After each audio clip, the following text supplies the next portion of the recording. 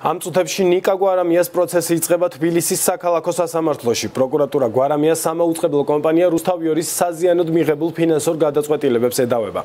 ამ საქმეს კიდევ ორი ბრალდებული ყავს რუსთავიორის ყოფილი ფინანსური დირექტორი და ინტერმედიას დირექტორი. გვარამიას ბრალი ზაფხულში წარედგინა. სასამართლოში ქეთი ნადიბაიძე იმყოფება, რომელიც დეტალებს თავად გაგვაცნობს. ქეთი პირდაპირ ეთერში ხარ. ნიკა კვარამია რამდენიმე წუთის წინ მოვიდა. თბილისის საქალაქო სასამართლოში ის შევიდა პროცესზე და ველოდებით რომ რამდენიმე წუთში უკვე სასამართლოს ხდომა უნდა დაიწყოს. ნიკა კვარამიამ დარბაზში შესვლამდე გააკეთა განცხადება მედიასთან. შეიძლება ითქვას რომ ის დარწმუნებულია ამ საქმეზე არსებითი განხილვა. დაიწყება ვინაიდან როგორც ის აცხადებს ამ საქმეს არ აქვს კონკრეტული სამართლებრივი მოტივი არამედ ამ საქმეს აქვს პოლიტიკური მოტივი და სასამართლო პოლიტიკურ ლიდერს ბიზინა ივანიშვილს ეხმარება ამ პოლიტიკური მიზნის მიღწევაში. მე მაყურებელს შევახსენებ რომ ნიკა კვარამიას გარდა ამ საქმეს ყავს კიდე ორი ბრალდებული, ეს არის რუსთავიორის ყოფილი ფინანსური დირექტორი და ასევე კომპანია ინტერმედია პლუსის დირექტორი. დღეს არის წინასწარის ხდო სასამართლოს ხდომა თბილისის საქალაქო სასამართლოში და სავარაუდოდ დღესვე უნდა გახდეს ცნობილი, დაიწყება თუ არა ამ საქმეზე არსებითი განხილვა. მე მაყურებელს შევახსენებ, რომ პროკურატურის მტკიცებით რამდენიმე წლის წინ შესაბამისი ფინანსური ოპერაციების შედეგად ყოფილმა გენერალურმა დირექტორმა და ასევე სხვა ბრალდებულებმაც ფინანსური ზარალი მიაყენეს ტელეკომპანია რუსთავიორს. ხელისუფლების ყველა შტო არის ისეთი, როგორიც არის სასამართლო.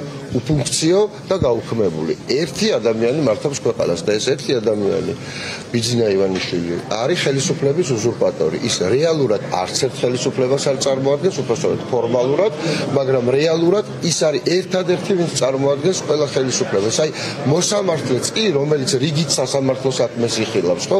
სამოქალაქო სტრუქტურას. აი ისიც ბიძინა ივანიშვილია. მე მაყურებელს შევახსენებ ამ საქმესთან დაკავშირებულ რამდენიმე დეტალს. პროკურატურაში აცხადებენ რომ რამდენიმე წლის წინ დაახლოებით 7 მილიონის ზარალი მიადგა ტელეკომპანია რუსთავიორ. საქმე ეხება სარეკლამო დროს რომლითაც რომელიც გაიყიდა რუსთავიორში თუმცა სანაცვლოდ კომპანიას შესაბამისი თანხა არ მიუღია.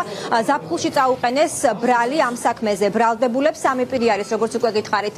ბრალდებული მათ შორის არის ტელეკომპანია მთავარის მოქმედი და რუსთავიორის ყოფილი გენერალური დირექტორი ნიკა გვარამია, როგორც უკვე გითხარით, ის უკვე თბილისის საქალაქო სასამართლოშია, ხტომას ესწრებიან სხვა ბრალდებულების და რამდენიმე წუთში ველოდებით, რომ სასამართლო პროცესი უნდა დაიწყოს.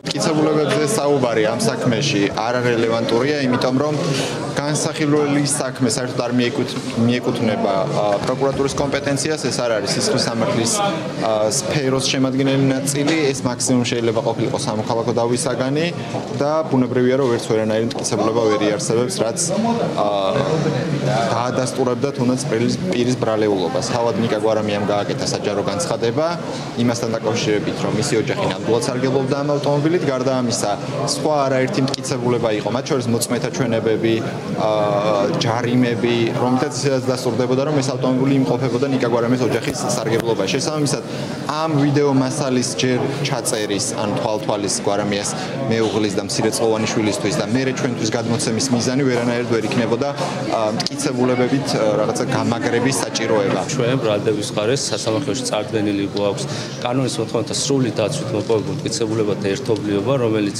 შესაბამისი სტანდარტით ადასტურებს ბრალდებულების მხრიდან დანაშაულის ჩადენის ფაქტს, გვაქვს მოლოდინი, რომ საქმე სრული მოცულობით გადაცემული იქნება არსებითად განსახილველად. აღნიშნული საქმის გამოძიების ფარგლებში ჩვენი მხრიდან იმის დასადგენად თუ რეალურად ვისეკუთვნოდა ეს ავტომობილი და ვისარგებლობდა ჩატარდა არაერთი საგამოძიებო და საპროცესო მოქმედება და მათ შორის მოსამართლის განჩინების მოსამართლის ნებართვის საფუძველზე ფარული საგამოძიებო მოქმედებები ხორციელდებოდა უშუალოდ ავტომობილზე